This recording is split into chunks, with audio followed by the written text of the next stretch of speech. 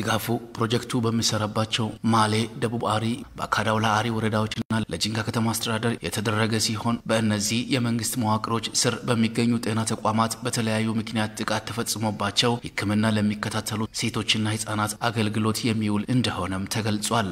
ድጋፉን የተረከቡ አካላትም ልማት ማህበሩን አመስግነዋል። ጥቃት ደርሶባቸው እዛ የሚተኙበት ቦታ አጥቶ ብዙ ወይ በባሏ ተደብድባ ተደፍራ የምትመጣ ብዙ ህጻን አለ፣ ብዙ ሴቶች አሉ። ከደረሰ በኋላ ጉዳቱ የደረሰባቸውን ሰዎች የማጽናናት የመደገፍ ስራ የሁሉም ህዝብ ኃላፊነት እንደመሆኑ መጠን ይህንንም አውቆ ደወሞ ህዝቦች ልማት ማህበር ለጂንካ አጠቃላይ ሆስፒታል one stop center ላደረገው ድጋፍ እጅግ በጣም ደስተኛ ነኝ። የፍራሽና የብርድ ልብስ ድጋፍ ስላደረገልን እጅግ በጣም አድርገን እናመሰግናለን። በአሁኑ ሰዓት የሴቶችና የህፃናት ጥቃት በጣም ትልቁ ችግር ነው፣ የማህበረሰባችን ችግር ነው። ለመፍታትም የብዙ ባለድርሻ አካላት አስተዋጽኦ አስፈላጊ ነው።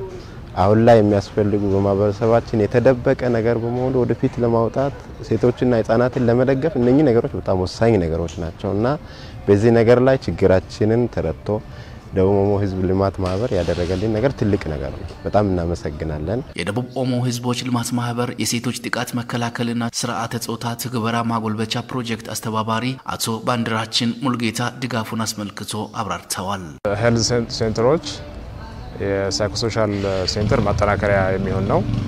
ይህም የፍራሽና የብርድ ልብስ ድጋፍ የሚያደርግ ነው። ስለዚህ ጠቀሜታው የተለያየ ጾታዊ ጥቃት ደርሶባቸው ከተለያዩ የገጠሩ አካባቢዎች መጥተው በጤና ተቋማት መረዳት ወይም እርዳታ ለሚያስፈልጋቸው ሰዎች መታከሚያ ተኝቶ መታከሚያ የሚሆን ነው ማለት ነው። በየጤና ተቋማቱ ጥቃት ደርሶባቸው ሕክምናቸውን ለሚከታተሉ ሴቶችና ህጻናት ልማት ማህበሩ የቁሳቁስ ድጋፍ እንዲያደርግ በተጠየቀው መሰረት ተግባራዊ በማድረጉ በመምሪያው ስም ያመሰገኑት ደግሞ የደቡብ ኦሞ ዞን ሴቶችና ህጻናት ጉዳይ መምሪያ ኃላፊ ወይዘሮ ምህረት በላይ ናቸው። ሴቶች ጥቃት ደርሶባቸው ሲመጡ በአንድ ላይ አገልግሎቱን ፖሊስ፣ አቃቤ ህግና ዶክተር በአንድ ላይ የአንድ ማዕከል አገልግሎት የሚባል አገልግሎት ዞናል ሆስፒታል ላይ ያስጀምረናል። ስለዚህ እዛ ላይ ያሉ የማቴሪያል እጥረቶች አሉ። ተጠቅተው የሚመጡት ሴቶች ሲመጡ የሚተኙበት ፍራሽ እጥረት እንዳለ ነግረናቸው ነበር። በዛ መሰረትም ያው ምላሽ ሰጥተዋል ማለት ነው። ስለዚህ ለዚህ ምላሻቸው ያው ምስጋና አለኝ።